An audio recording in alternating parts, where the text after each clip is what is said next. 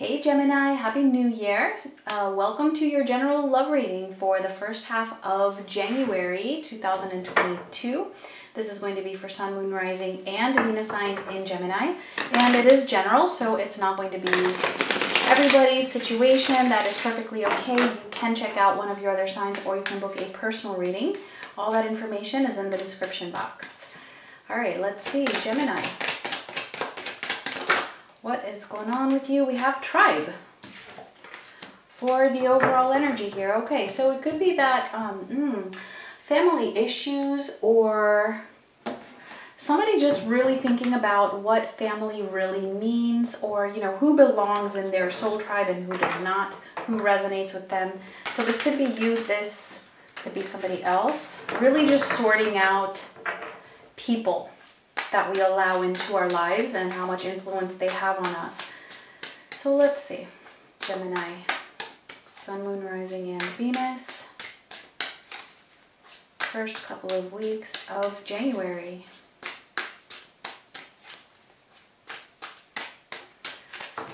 Do remember that the roles can be reversed for general readings. All right, so for the main situation, we have the Five of Cups crossed by the Three of Cups, okay. So somebody is really depressed. Somebody is really feeling um, a sense of loss, maybe even some guilt. And of course, the challenge here is to actually be able to see things in a more positive, positive way. Hmm. For your recent past, we have the Two of Cups, current energy, the Seven of Wands, and near future, we have the Four of Wands. Okay, so definitely there's been love here, all right? In the recent past, there was a lot of deep feelings for somebody. Um, at the moment, I feel like you're blocking that out or you're just really having your guard up, um, maybe even fighting against others. So this could be you, for example, figuring out who belongs in your life and who doesn't. So just kind of having your guard up and being defensive as to who you allow in. And I actually see that coming up though. It's like you're, you're actually sorting that out with the Four of Wands, like having stability with the people around you or even within a particular love connection here. Let's see for them. So for them we have the Three of Wands in their recent past, the Page of Pentacles currently, and in the near future, the Wheel of Fortune. Potential outcome is the sun. Okay.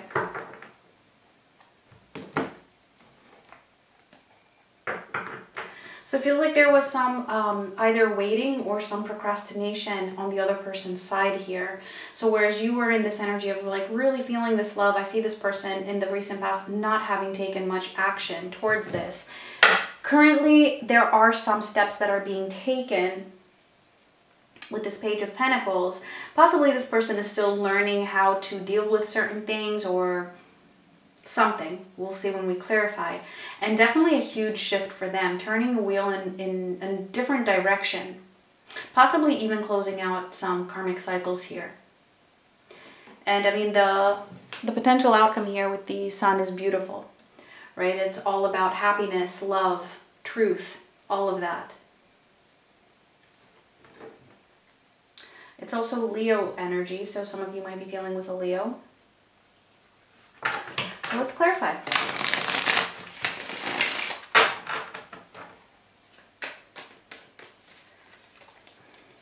So let's see the Five of Cups with the Three of Cups.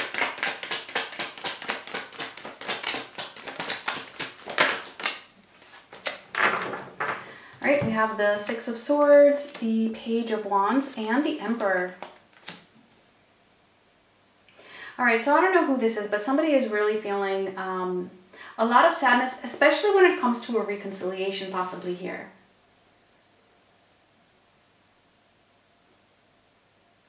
Because there's an absence of that reconciliation, and so therefore there's also an absence of of that happiness. But I do feel like it has a lot to do with the way that this person is um, dealing with certain things. Again, it's not clear if it's you or them.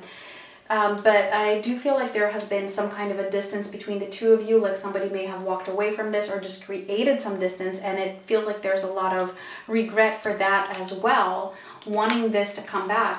um, whoever this is, this person really wanting to take charge here in order to have this this reconciliation. But again, it feels like there's a lot of pessimism or a lot of depression or just not feeling very very positive at the moment. Let's see the Two of Cups for you.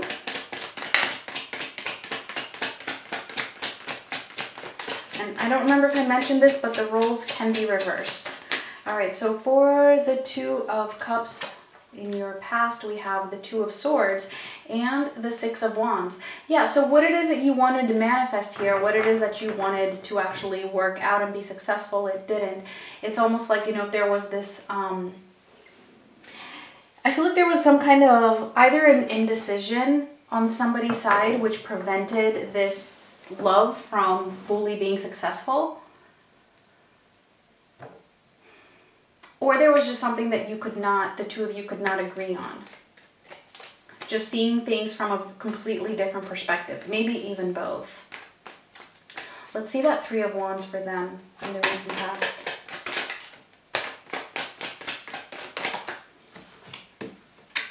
the Nine of Cups and the King of Wands.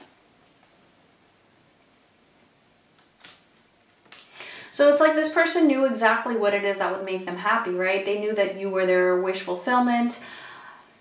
Mm, this is something they really wanted, but they were procrastinating. They were holding back. There was a lot of passion here, though. They held a lot of passion for you. And again, I do feel like this is something that they wanted, and that's why, you know, there's this sadness now. This could be actually on both of your sides. That Five of Cups. You're both sad about this, um, about the fact that there has not been a reconciliation yet.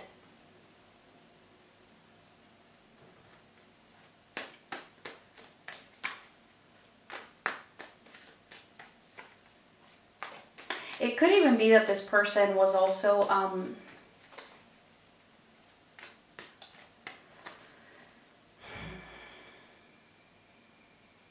feels like you know there might, might have been something else that they wanted here as well and that could have been part of the procrastination because there was something else.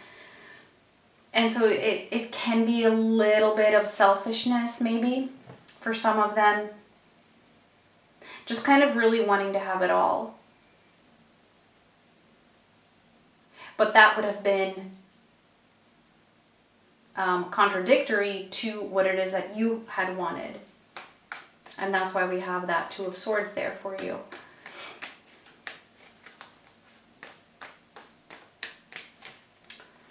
I don't know. Let's see. Let's see this Page of Pentacles and their current energy.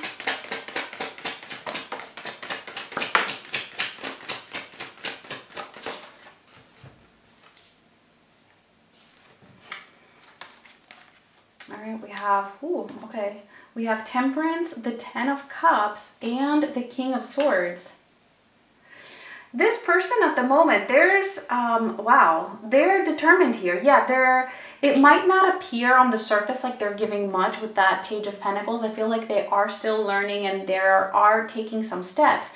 And that's those steps might be really small at the moment or that's how they appear but there's something a lot bigger underlying that. Like that little step that they appear to be taking or maybe you can't even see it at all for some of you it's being driven by a lot of determinism um, having made a decision. This is very very different from that three of wands energy that was in their recent past. There's a lot of determinism here it's being driven by love, right? And them wanting that completion of of a love connection, right? Rather than just the Nine of Cups, it's the Ten of Cups now. And that's also attached to Temperance, which, by the way, is also um, Sagittarius energy. But this is coming from a place of a lot of healing and balance. So I'm not saying that this person is 100% balanced um, just yet, but they are on that path. The steps that they are taking are coming from a balanced place and coming from love with a lot of determinism here. You seem to be closed off, though. Let's see.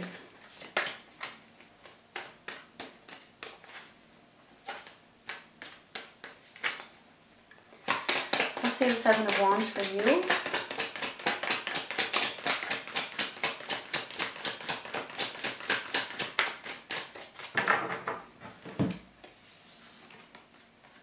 The Four of Swords and the Knight of Cups.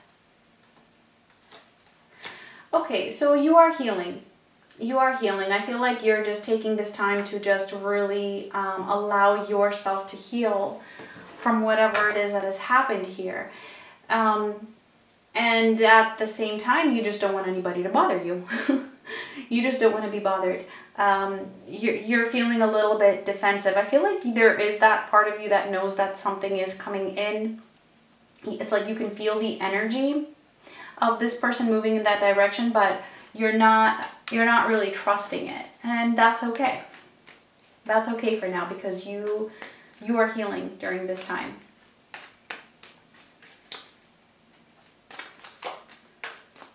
all right let's see that wheel of fortune for them in the near future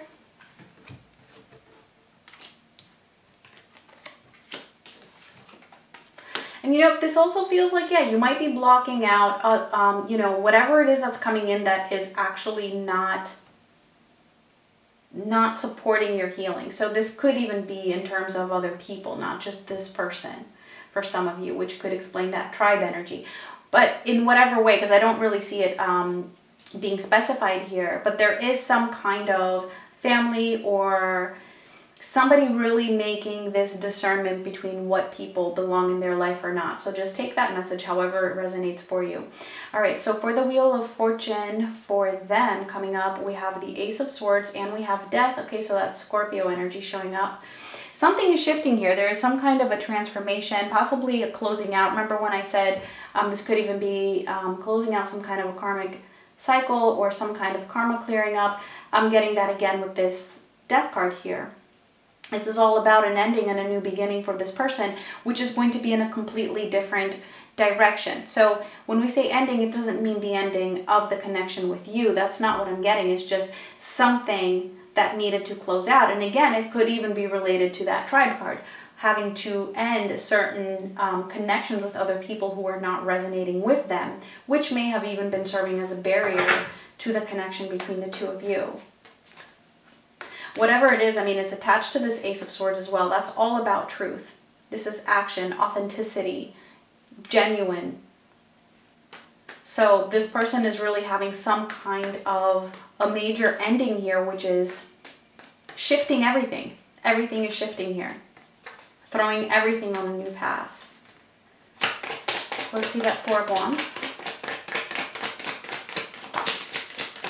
Which is in your near future, we have the Queen of Wands and the Seven of Pentacles.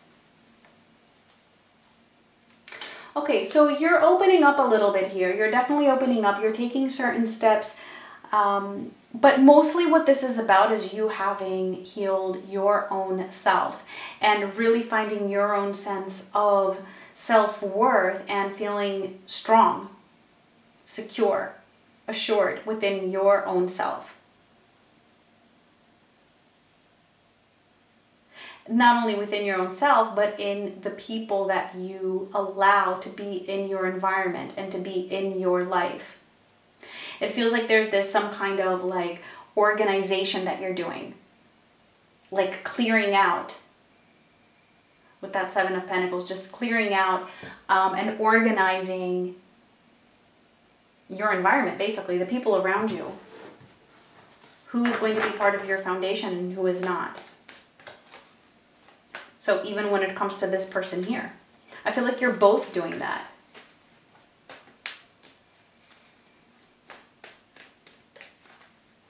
All right, so let's see the Sun for the potential outcome.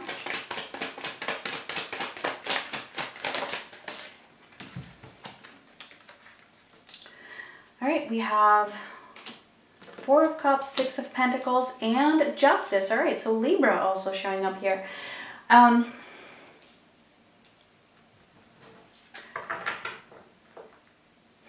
there's a lot of balance that is coming in, especially when it came to feeling disappointments.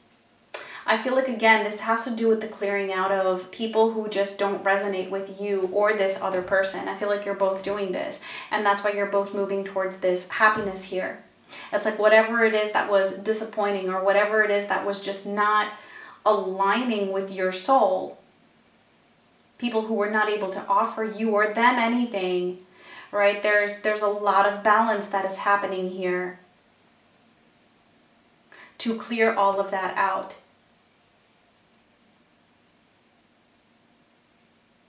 So yeah, I mean, again, with justice, I feel like that's also, again, karma. Karma being resolved, things, th things just really falling into place. So that's actually beautiful. All right, Gemini.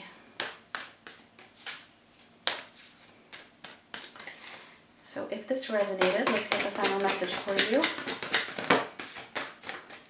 And for some of you, this could even be coming out of depression. If some of you have been depressed or if your person has been going through depression, this is really coming out of that. All right, so for the final message here, we have the new moon in Taurus. Prosperity lies ahead. Yeah, does look that way. Prosperity doesn't have to be only in terms of finances, okay? It can be on all levels, and that's what I'm seeing here, right, with that sun as your potential outcome. All right, Gemini, those were your messages. Thank you so much for watching. Much love.